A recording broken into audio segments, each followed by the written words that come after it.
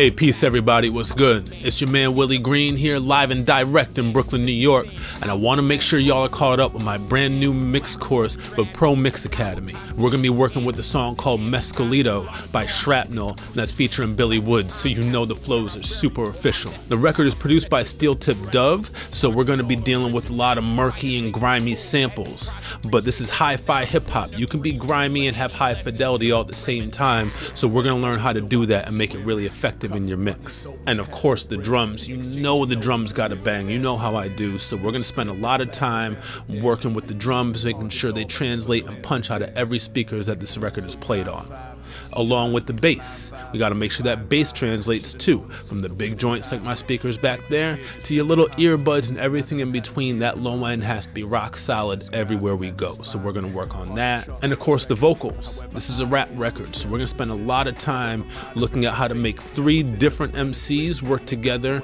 in the same record and also work with some vocal effects and make some special moments and how to take effects from being just a sound to really part of the arrangement and make moments special and really make the whole record captivating.